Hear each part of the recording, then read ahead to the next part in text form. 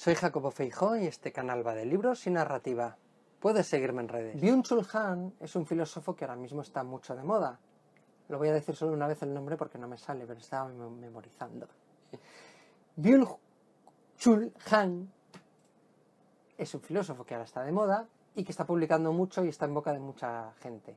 Hace unos libritos pequeñitos, unos ensayos mm, muy rápidos de leer, muy digeribles. Yo he leído tres o cuatro de él.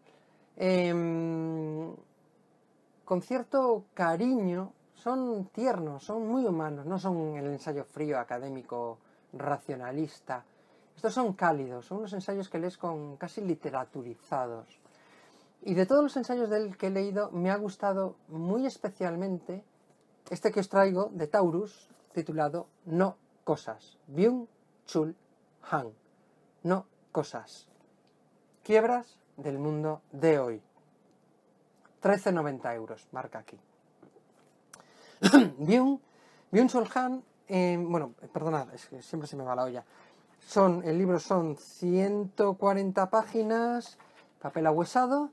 Eh, Taurus tiene una, una, edición y una maquetación correcta, os lo enseño aquí en pantalla para que veáis que hay buenos márgenes, los epígrafes están bien marcados, fuente tipográfica mediana, se puede leer sin gafas, que es otra de mis preocupaciones, eh, no he encontrado erratas, fijaos, este es un cambio de capítulo, como está muy está cuidada la edición, está correcta, está, está apta.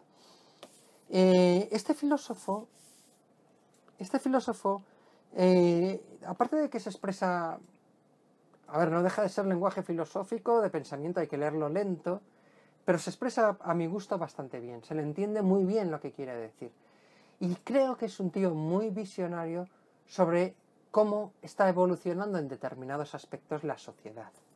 En este libro de No Cosas mm, pone en manifiesto o, mm, o, denuncia o nos hace ver cómo cada vez nos estamos acercando más a lo, a lo virtual y nos estamos separando de lo real. Y acercarse a cosas que son abstractas, como decía Barico, ¿alguien sabe cuánto pesa o cuánto mide un bit?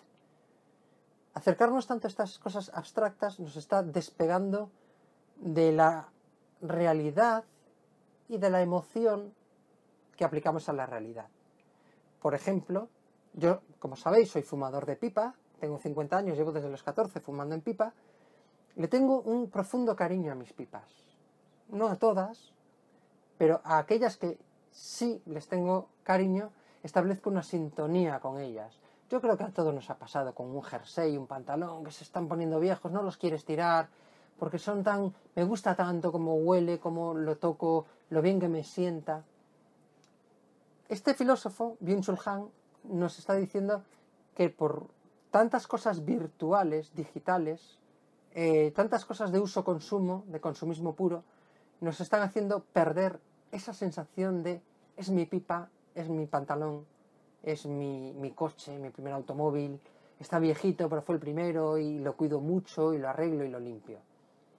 Y cree que es un error y cree que es una pena y cree que la sociedad está derivando hacia un problema olvidándose de eso porque nos está haciendo inhumanos. Lo humano necesita vínculo y lo vínculo eh, se consigue a través de lo real, de lo tangible, de lo físico, de lo tocable, olible. La digitalización, la virtualización y el consumismo destruyen eso. Em, tendréis que leer el ensayo para profundizar más en este pensamiento. Eh, os insisto, es un ensayo que se lee relativamente rápido, son muy pocas páginas, se expresa muy bien, hay que leerlo con calma porque es lenguaje filosófico pero creo que es muy bueno, es muy visionario y de todos los que he leído de este hombre me ha parecido, para mi gusto, el mejor. Es un libro que es raro que yo vuelva a leer dos, un libro por segunda vez, porque tengo muchos en la cola, no tengo ya años de vida y, generalmente me llega con leerlos una vez, pero este es probable que lo vuelva en breve a leer porque me dejó pensando, me dejó pensando mucho tiempo y observando cuál era mi relación hacia las cosas y hacia las no cosas, como las tilda él. Os invito a, que le echéis un vistazo. No cosas, Taurus, Byung, Chul, Han, 13,90 euros.